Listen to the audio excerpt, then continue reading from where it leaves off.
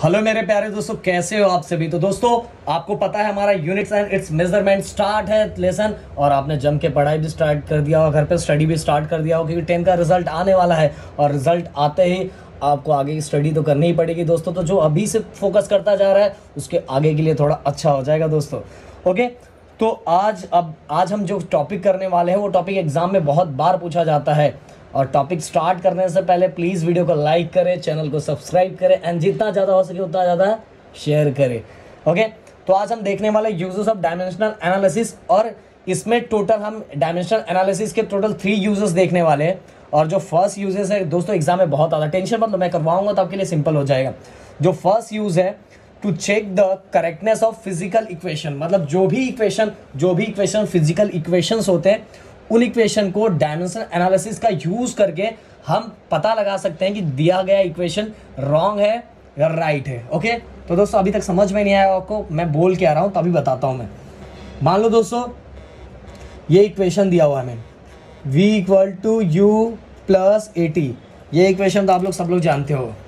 First kinematic equation of motion v equal to u plus a t but ऐसा समझ लो कि आपको किसी ने इक्वेशन ये दिया और आपको ऐसा लग रहा है कि इक्वेशन गलत है इक्वेशन सही नहीं है तो हम left hand and right hand side proof करेंगे बाय यूजिंग डायमेंशनल एनालिसिस इसका यूज़ करते हमें पता चल जाएगा कि ये जो फ़िज़िकल इक्वेशन दिया हुआ है, ये सही है या गलत है। तो कैसे करेंगे? V सबसे पहले v का dimension L M T okay दोस्तों जैसे आपको वेलोसिटी का पता है वेलोसिटी का यूनिट क्या होता है? Metre per second. मीटर मतलब लेंथ सेकेंड मतलब टाइम तो एल एम टी तो एल आ जाएगा हमारा वन मास तो इसके अंदर है नहीं तो ज़ीरो और टाइम यहाँ सेकेंड डिवाइड में है, नीचे है तो ये हो जाएगा माइनस वन तो दोस्तों, ये हो गया, हम इसको दे देंगे इक्वेशन नंबर वन अब दोस्तों, दूसरा देख लो. यू अब यू को आप लिख लो. एल एम टी फिर से. एल एम टी ओके दोस्तों, अब ये भी वेलोसिटी होता है वेलोसिटी होता है तो इसका भी वही होगा मीटर पर सेकेंड।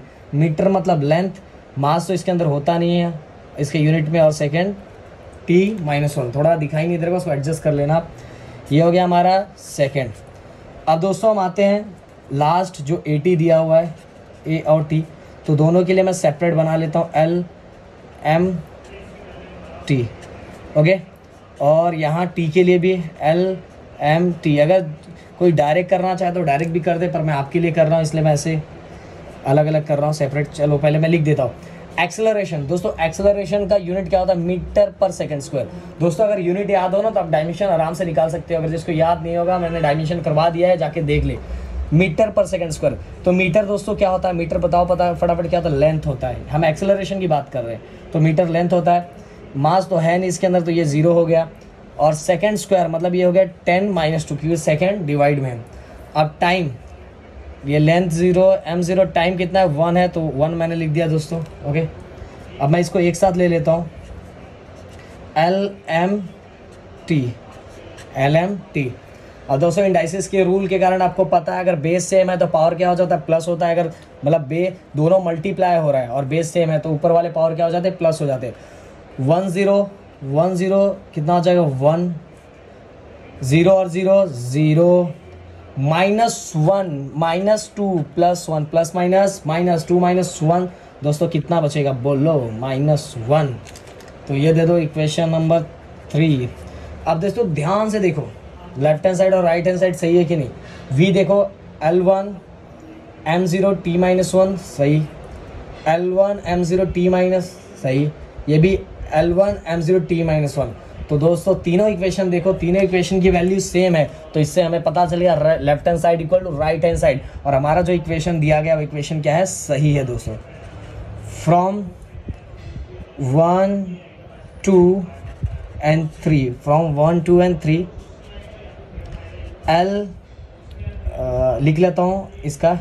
इसका क्या था हमारा? L one M zero T minus one equal to u u का भी दोस्तों वही है, L one, M zero, T minus one, okay? आगे क्या है? प्लस और ए टी का हमने डायरेक्ट निकाला, ए टी का क्या है? L one, M zero, T minus one. तो दोस्तों अगर चेक करोगे आप, चेक करोगे तो तीनों का सेम ही आया तो आज लास्ट में लिख दोगे u equal v equal to u plus a t. Proved hence proof okay दोस्तों, हमने बता दिया left hand side equal to right hand side तो हमारा दोस्तों फ़र्स्ट हमने यूज़ फाइंड करके दिखा दिया. आई थिंक आपके लिए सिंपल होगा, एकदम, और ये हवाएँ चल रही है दोस्तों. मौसम थोड़ा अच्छा कर दिया है. टेंशन मतलब डरो मत. तो बढ़ते हैं दोस्तों नेक्स्ट एक एक करके मैंने दिखा दिया. और क्लासेस में तो बहुत सारा करवाएँगे दोस्तों. अभी तो हम ये लाइव करवा रहे हैं. अगर इसको पे किसी को प्रॉब्लम है तो हमसे कांटेक्ट करें. तो चलो चलते हैं हम सेकेंड यूज़ की तरफ़। तो दोस्तों सेकंड हम जो फाइंड करने वाले मतलब जो यूज़ है डायमेंशन एनालिसिस का, वो है to stabilise the relationship between related physical quantity मतलब ये क्या लिखा है, इससे आपको समझ में नहीं आया होगा, मुझे पता है। मैं मैंने एक एग्जांपल लिया, उस एग्जांपल के थ्रू आपको समझ में आएगा, दोस्तों। दोस्तों, देखो, यहाँ मैंने लिखा है T equal to two pi under root L upon g L upon g ए तो दोस्तों, ये आप जब ट्वेल्थ में जाओगे तो आपको ऑसिलेशन करके एक लेसन ऑसिलेशन तो ऑसिलेटरी मोशन आपने सुना हुआ है। पर ट्वेल्थ में जाओगे तो ऑसिलेशन करके लेसन है। उस समय आप time period of simple pendulum find करोगे डेरिवेशन उस समय ये फॉर्मूला ये आएगा आपको। बट अभी आपको फॉर्मूले से लेना देना नहीं है दोस्तों। ये तो मैंने ऐसे ही आपको फार्मूला लिख के दिया है कि इसका सिंपल पेंडुलम और पीरियड ऑफ़ सिंपल पेंडुलम का फार्मूला ये होता है। इससे आपको लेना अपने को लेना क्या है कि period of T of oscillation of simple pendulum depend on the length and acceleration to gravity मतलब जो पीरियड ऑफ़ टी है ऑसिलेशन ऑफ़ सिंपल पेंडुलम का वो किसके ऊपर डिपेंड है? लेंथ एल और एक्सेलरेशन ड्यू टू ग्रेविटी मतलब टी का रिलेशन एल और जी के साथ कैसा है? वो हमें क्या करना है? फाइंड करना है। टी का रिलेशन लेंथ और जी के साथ कैसा है? अगर आप यहाँ देखना चाहोगे, आपको तो डायरेक्ट ही पता चल गया। T is directly proportion to square root of L and T is inversely proportion to the square root of g आपको यहाँ डायरेक्ट रिलेशन तो ऐसा ही रिलेशन हमें सॉल्व करके बताना कि ऐसा आ रहा है कि नहीं आ रहा है। ये हम यूज़ करेंगे डायमेंशन एनालिसिस का यूज़ करके हम फाइंड करेंगे कि रिलेशन हमारा आ रहा है कि नहीं आ रहा है। तो लिखते हैं।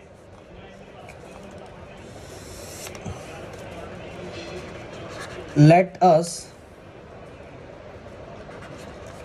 let us derived the relation between between T L and g ये तीनों के पीछे हमें, तीनों का टी का, ये दोनों के साथ क्या फाइंड करना है? रिलेशन फाइंड करना है दोस्तों। तो मैं ऐसे ही लिखूँगा, हमेशा ऐसी, जैसे दोस्तों करवा रहा हूँ, ऐसे ही करना। जिसका रिलेशन है, वैसे रिलेशन ऐसे ही फाइंड करना। T is directly proportion to L of अब हमें रिलेशन फाइंड करना है दोस्तों तो यहाँ एक को इधर दिख नहीं रहा, अच्छे से मैं यहाँ लिखता हूँ।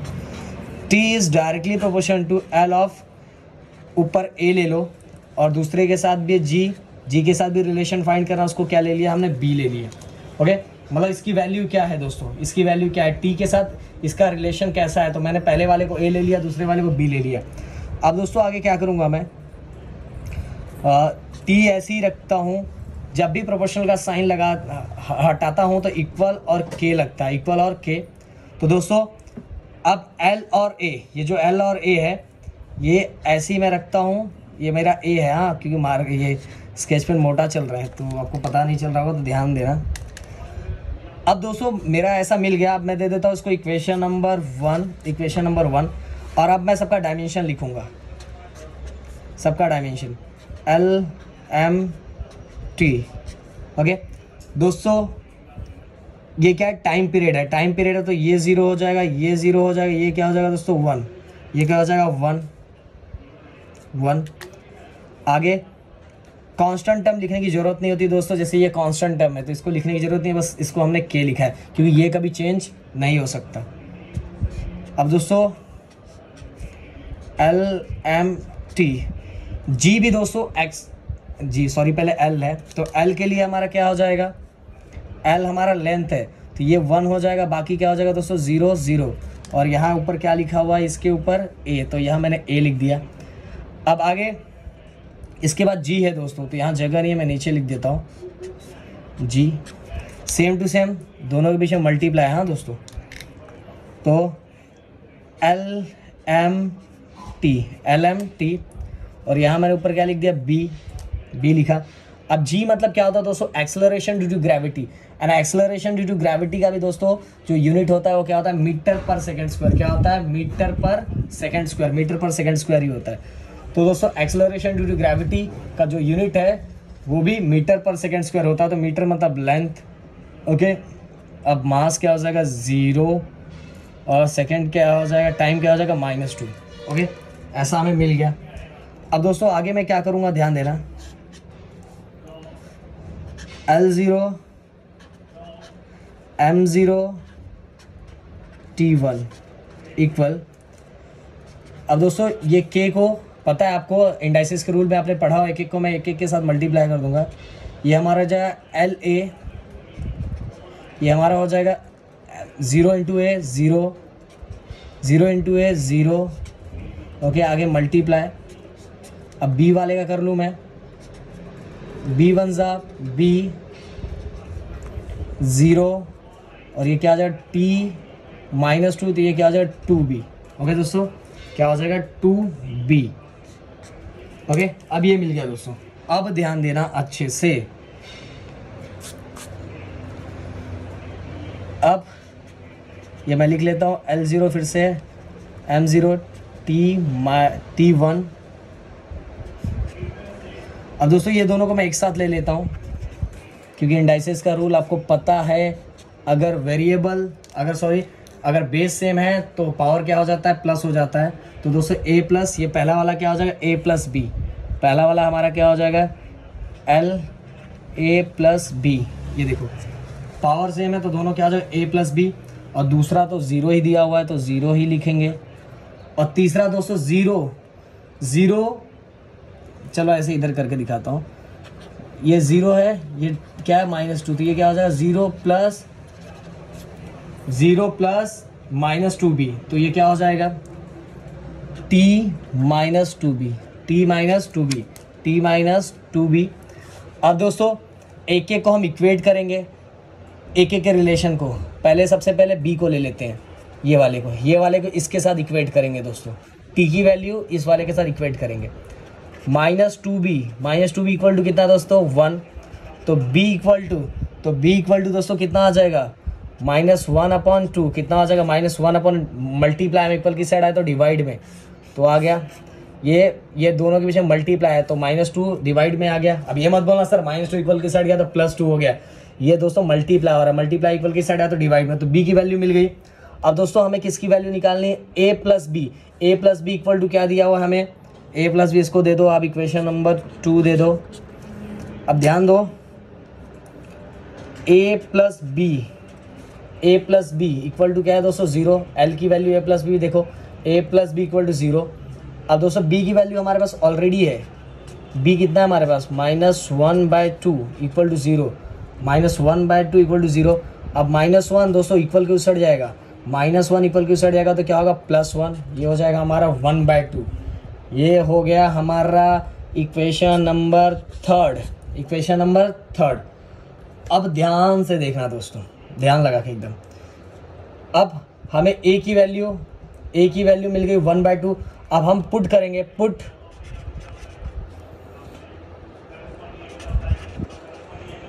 values of a and b in equation first value of a and b equation first में पुट कर देंगे।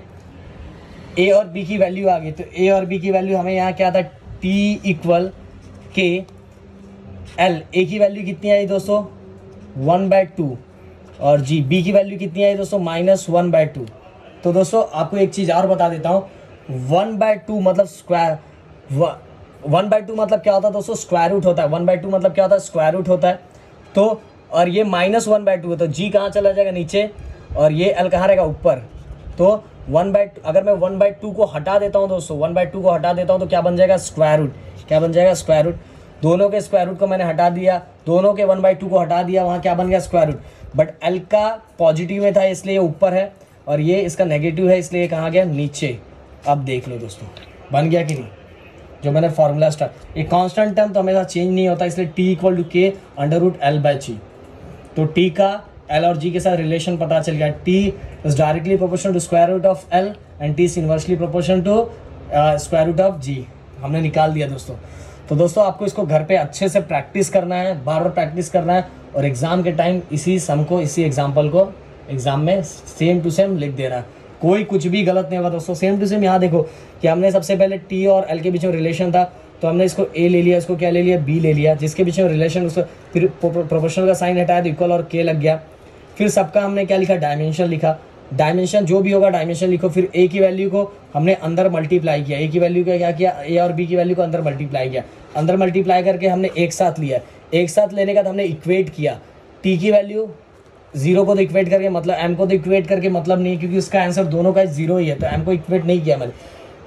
टी की वैल्यू को इक्वेट किया तो minus two b equal to one तो हमें पी की वैल्यू मिल गई बी की वैल्यू मिल गई। एल को इक्वेट किया। एल की वैल्यू को इक्वेट किया तो a plus b equal to zero है। तो बी की वैल्यू ऑलरेडी दिया, जिससे हमें ए और बी दोनों की वैल्यू मिल गई। हमें तो ए और बी की वैल्यू निकालनी थी। ए और बी की वैल्यू निकाली तो हमें रिलेशन पता चला टी इक्वल टू कैसा है। और ये तो कॉन्स्टेंट टाइम है बट इसका फॉर्मूला क्या आता है? टी इक्वल टू देखो चेक कर लो, हमारा वैसा ही है ओके दोस्तों तो ये हमारा हो गया अब चलते हैं थर्ड यूज़ लास्ट यूज़ की तो दोस्तों, चलो करते हैं थर्ड यूज़ किसका डायमेंशन एनालिसिस का। तो थर्ड क्या लिखा हुआ to find the conversion factor between the unit of same physical quantity into a different system of unit दोस्तों, आपको समझ में नहीं आएगा, मुझे पता है। पर मैं एक एग्जांपल ले लेता हूँ तो मेरे ख्याल से आपको समझ में आ जाए। ओके दोस्तों, मान लो आप मुझे ये बताओगे कि वर्क का वर्क का जो एस आई और सीजीएस यूनिट क्या होता है? वर्क का एस आई यूनिट होता है, वो होता है वर्क का S I unit of work S I unit work का क्या होता है दोस्तों? जूल होता है ओके और C G S unit of work दोस्तों क्या होता है? अर्घ होता है। क्योंकि energy energy is capacity to do work मतलब वर्क ही एनर्जी एनर्जी का भी वही होता है वर्क का भी होता है। तो ऐसा यूनिट ऑफ़ वर्क क्या है? जूल है। और सीजीएस यूनिट ऑफ़ अर्क भी सीजीएस यूनिट ऑफ़ वर्क क्या है? हमारा अर्क ओके दोस्तों तो हमें क्या फाइंड करना है? हमें फाइंड ये करना है कि one one joule equal to how much erg okay दोस्तों, जैसे हम यहाँ बोलते हैं one metre equal to hundred centimetre one metre equal to hundred centimetre. ये हमें पता है कि वन मीटर इक्वल टू कितना, और दोनों दोनों लेंथ की, दोनों सेमी फ़िज़िकल क्वांटिटी है। बट यहाँ कन्वर्जन फैक्टर उसका, अगर मैं इससे एक सिस्टम ऑफ़ यूनिट को दूसरे सिस्टम ऑफ़ यूनिट में अगर कन्वर्ट करूँ तो उसका कन्वर्जन फैक्टर कितना होगा? ये भी फाइंड करने के लिए मैं इसका यूज़ करता हूँ। तो वन जूल देखो दोनों वर्क का यूनिट है, दोनों वर्क का ही यूनिट है। But one joule equal to CGS में उसका कितना होगा? कितना कन्वर्जन होगा? तो one joule equal to how much erg one joule equal to how much work तो दोस्तों, इसके लिए आपको वर्क आपको मेरे ख्याल से वर्क का डायमेंशन याद होगा। वर्क का डायमेंशन अगर याद होगा तो ही आप कुछ कर सकते हो। वर्क क्या होता है? Force into displacement force into हमारा क्या होता है? डिस्प्लेसमेंट ओके फोर्स फोर्स का तो यूनिट बहुत बार हो चुका है तो आपको याद होना चाहिए। M one L one T minus two M one N M one L one T minus two और डिस्प्लेसमेंट का क्या होगा? एल वन मैं डायरेक्ट करके दिखा रहा हूँ दोस्तों। डिस्प्लेसमेंट मतलब हमारा लेंथ होता है तो मैं डायरेक्ट लिखा हूँ एल वन मैं सब नहीं लिख के दिखा रहा हूँ L one M two zero zero direct ही कर रहा। हूँ एम वन ये फोर्स का डायमेंशन क्या होता है? M one L one T minus two M one L one T minus two और डिस्टेंस डिस्टेंस मतलब एक तरह से लेंथ हो गया। वर्क का यूनिट आपको पता है फोर्स वर्क का फॉर्मूला आपको पता है फोर्स इंटू डिस्प्लेसमेंट होता है। तो फोर्स का ये डायमेंशन ये हो गया डिस्प्लेसमेंट का डायमेंशन ओनली एल होगा, बाकी सब ज़ीरो होगा दोस्तों। एम टी का होगा ज़ीरो तो मुझे डायरेक्ट ही फाइंड करना है आप लोगों के लिए। ये ये यहाँ ये यहाँ डायरेक्ट लिखना है दोस्तों, ये मैं आपके लिए कर रहा हूँ। तो ये क्या हो जाएगा? M one L one L one कितना हो जाएगा? एल टू और T minus two this is dimension for work work का डायमेंशन ये होगा। तो जूल भी इसी का यूनिट है, इसीलिए मैं इसका डायमेंशन यहाँ, उसी का डायमेंशन लिखूँगा। तो मैं इसका डायमेंशन लिखता हूँ यहाँ। ध्यान दो अच्छे से। तो डायमेंशन ऑफ़ वर्क वर्क का जूल यूनिट होता था डायमेंशन मैंने ये लिखा। एम वन और क्या L two T minus two okay आगे एक्स अर्ग भी दोस्तों अर्ग भी वर्क का यूनिट है। तो M one L two T minus two अब दोस्तों अगर मैं ऐसे ही सेम रखूँगा तो दोनों तो सेम ही चीज़ का सेम ही फ़िज़िकल क्वांटिटी का यूनिट है। तो दोनों साइड से क्या होगा? कैंसिल हो जाएगा बट ऐसे करने हमारा आंसर थोड़ी आ जाएगा। तो मैं दोस्तों, इसको क्या ले लूँगा? वन ले लूँगा।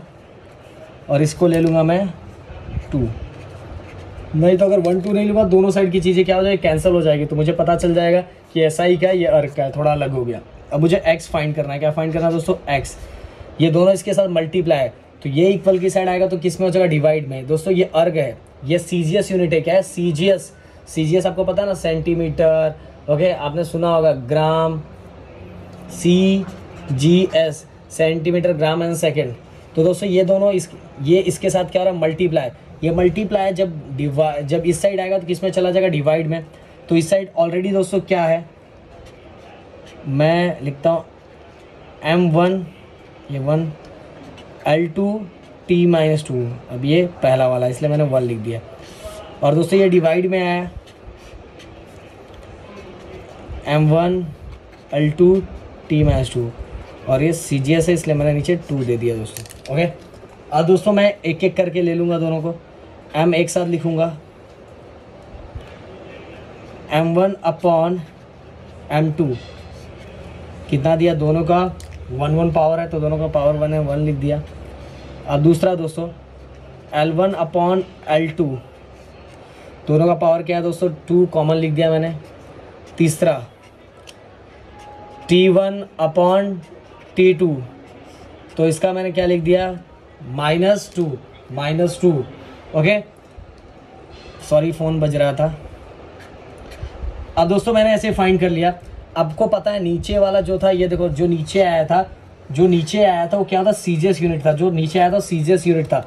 तो बताओ, मास का सीजियस यूनिट, मास का जो सी जी एस यूनिट होता है, मास का सीजियस यूनिट क्या होता है? ग्राम होता है। क्या होता है दोस्तों? ग्राम। याद रखो, मास का सीजियस यूनिट क्या होता है? ग्राम। तो मैं नीचे लिख दूँगा, ग्राम। और ऐसा यूनिट ऑफ़ ऐसा यूनिट ऑफ़ मास क्या होता है? के जी ऐसा यूनिट क्या होता है? मास का के जी तो मैंने के जी लिख दिया, और इसको ऐसे लिख दूँगा, वन। अब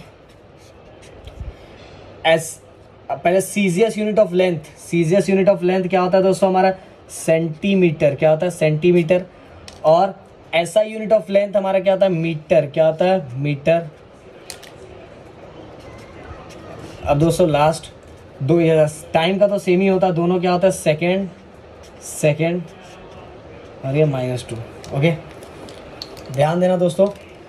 सीजियस यूनिट, क्योंकि ये सीजियस यूनिट का पार्ट था, इसलिए मैं आप सीजियस यूनिट, मास का सीजियस यूनिट क्या होता है, ग्राम और ऐसा यूनिट क्या होता है के जी सेंटीमीटर सॉरी लेंथ का सीजियस यूनिट सेंटीमीटर होता है, और लेंथ का ऐसा यूनिट क्या होता है मीटर और दोनों का तो ये सेकेंड ही सेकेंड होता है तो उसका कुछ करने की ज़रूरत नहीं। अब दोस्तों, आगे मैं लिखता हूँ एक्स इक्वल एक्स इक्वल के जी अपॉन ग्राम अब ध्यान दो, अब यहाँ से ध्यान देना दोस्तों मुझे इस ग्रा, अगर मुझे के को ग्राम में कन्वर्ट करना है के को किसमें कन्वर्ट करना है, ग्राम में कन्वर्ट करना है तो one K G equal to कितना ग्राम होता है? One K G equal to कितना ग्राम होता है? तो one K G equal to कितना होता है? Thousand gram. तो मैं के जी की जगह पे ऐसे भी लिख सकता हूँ दोस्तों। थाउज़ेंड ग्राम तो मैंने ऐसे लिख दिया। और अपॉन ये हमारा आ गया ग्राम, ये ऑलरेडी जो है, इसको मैंने कन्वर्ट कर दिया। अब दूसरा, ये सेंटीमीटर ऊपर वाले को भी सेंटीमीटर में कन्वर्ट करना है। तो सेंटीमीटर है तो मैं अगर ऐसे लिखूँगा तो भी चलेगा।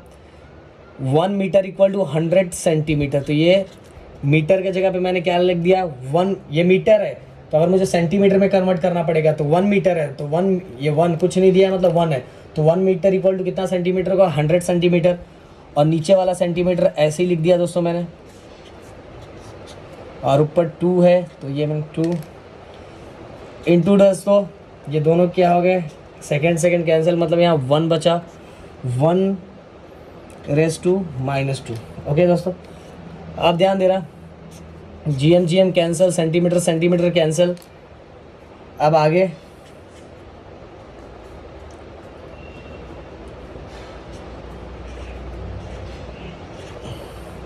बस ये बचा ना थाउज़ेंड को रेस टू वन करूँगा तो उसका आंसर वही आएगा। और हंड्रेड का स्क्वायर दोस्तों आप हमें नहीं है। इसको मैं लिखता हूँ one zero zero into hundred का स्क्वायर दोस्तों हंड्रेड इंटू हंड्रेड अब टोटल लिख लो, दोस्तों। One two three four five six seven one two three four five six seven one two three four five six seven तो दोस्तों direct आप इसको ऐसे लिख सकते हो ten raise two seven one two three four five six seven okay तो x की वैल्यू दोस्तों क्या आ गई? इसको दे दो आप इक्वेशन नंबर वन और अच्छा हो जाएगा। और ये हो गया हमारा इक्वेशन नंबर टू अब दोस्तों एक्स की वैल्यू क्या आ गई? हमारी टेन रेस टू सेवन तो हम put x equal to ten raise two seven in equation first तो one joule equal to x के जगह पे क्या आ जाएगा? Ten raise two seven erg okay दोस्तों, देखो, अब आपने ये पढ़ा था नाइन्थ में आपको आया था पुट करने तो हमने वैल्यू निकाल दी, one joule equal to ten two seven कितना था? अर्घ अर्ग होता है। तो इस तरह, दोस्तों, अब बहुत सारी physical quantity same physical quantity को डिफरेंट सिस्टम ऑफ़ यूनिट में फाइंड कर सकते हो। जैसे मैंने बताया कि ये same physical quantity same physical quantity का यूनिट है। ये भी वर्क का है, ये भी वर्क है बट ये ऐसा ही है ये क्या है? सीजीएस है दोस्तों। तो इस तरह से one joule equal to how much erg तो मैंने क्या लिया? जी मतलब वर्क का डायमेंशन लिया है यहाँ वर्क का डायमेंशन लिया बट दोनों वर्क का डायमेंशन क्योंकि दोनों वर्क किए तो डायमेंशन सेम ही होगा। तो पर मैंने अलग, क्योंकि दोनों सेम ना हो जाए, इसलिए मैंने नोटेशन अलग दिया। इस वाले एस SI वाले को वन दिया सीजस वाले को टू दिया, फिर दोनों के बीच में मल्टीप्लाई हो रहा है तो मैंने उसको डिवाइड कर दिया दोस्तों। फिर होने के बाद एम को साथ में रखा एल को साथ रखा टी को साथ रखा, फिर एम अपॉन एम मतलब कि एक, ये हमारा नीचे वाला सीजीएस में दोस्तों तो मास ऑफ़ सी जी होता है, और मास ऑफ़ एस SI क्या होता है? मास ऑफ़ एस SI क्या होता है? के होता है। लेंथ क्या होता है? सीजीएस सेंटीमीटर होता है, और लेंथ एसआई क्या होता है? मीटर होता है। लेंथ दोस्तों, हमारा जो लेंथ होता सॉरी टाइम जो होता है दोनों सेकंड होता है सी जी और एस आई दोनों क्या होता है सेकंड होता है। तो दोस्तों, अभी मैंने one K G one K जी क्योंकि दोनों दोनों को सेम सेम यूनिट में चेंज करना था तो one K G one K G equal to how much gram thousand gram होता है तो ग्राम ग्राम गेट कैंसिल फिर one metre equal to hundred centimetre centimetre get cancel तो दोस्तों, आपको पता है one raise two anything one raise two anything one raise two anything वो हमारा वन ही होता है। वन रेस टू एनीथिंग क्या होता है? हमारा वन होता है तो मैंने वन लिखने का कोई मतलब नहीं, इसलिए यहाँ वन लिखा नहीं मैंने। अब ये थाउज़ेंड ये हंड्रेड का स्क्वायर करूँगा तो ये हंड्रेड हंड्रेड टू टाइम मैंने डायरेक्ट ही लिख दिया तो one two total zero count किया ज़ीरो कितना हो गया? सेवन और इस तरह। दोस्तों बस ये याद रखना। तीनों यूज़ आज ही कर लिए। प्लीज़ घर पे बैठ के अच्छे से प्रैक्टिस कर लो, क्योंकि एग्ज़ाम में आने वाला है। अगर वीडियो अच्छा लगे तो प्लीज़ वीडियो को लाइक कीजिए चैनल को सब्सक्राइब कीजिए एंड दोस्तों के साथ शेयर कीजिए। Thank you so much bye bye